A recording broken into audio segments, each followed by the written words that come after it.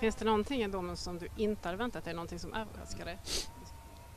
Jag har inte hunnit läsa igenom domen riktigt men Thomas Magnusson läste upp det lite snabbt för mig så att jag, det jag har hört låter väldigt positivt. Att man, de har verkligen fokuserat på eh, de vikt, ur, vår syn, ur min synpunkt viktiga bitarna. Va? Och, och eh, Thomas plädering har ju liksom vägt in verkar det som att även om det är då en sammanfattning av fakta så det, det, har ju vägt in. Va?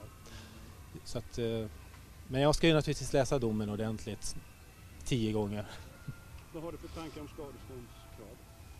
Nej, det är bara en naturlig sak egentligen. Att, att det ska kompenseras på något sätt de 13 år som har tagits ifrån mig. Kan man kompensera det? Nej, inte med pengar. Det går inte. Mm. Jag kan ju vända på frågan, vem skulle byta med mig? Om du fick en miljard, om du fick 10 miljarder. Jag skulle inte, jag skulle inte ta det. Hur länge stannar du i Sverige nu då? Mm, till på lördag. Och då blir det?